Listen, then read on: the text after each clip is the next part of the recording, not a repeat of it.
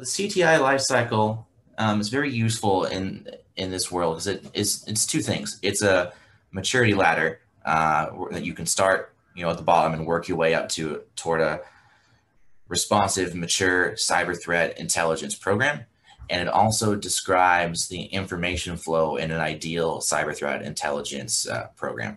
So this is a build out slide. We're going to go through it piece by piece here.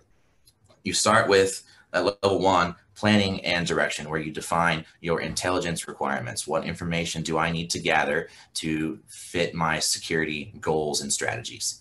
Uh, and these are things like hypothesis generation, uh, tracking adversary types like ransomware actors like DarkSide or Mount Locker or any of these other ones, uh, identification of your critical assets that could be targeted by a ransomware attack. Uh, we move up the ladder to collection. How do we actually get that data that we've defined in our uh, intelligence requirements?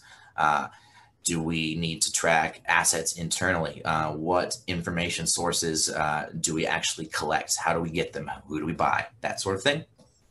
Uh, we move up the ladder to processing. What do we do with the data? This is where we start manipulating it into shapes and formats that suit those security goals. So curating threat data, documenting, uh, making sure that the data we have subscribed to remains reliable and relevant. Uh, in that's especially uh, important these days when threats come fast and furious and they change very frequently.